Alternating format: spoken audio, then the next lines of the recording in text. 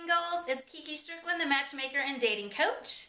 And we know that the holidays are coming up, and I want to tell you about holiday hookups.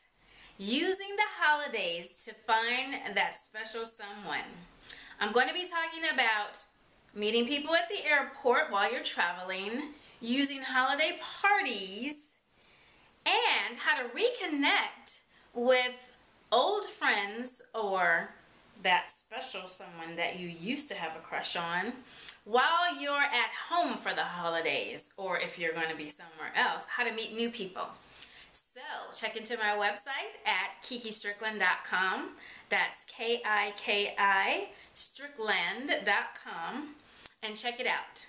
In the meantime, happy dating and happy holidays.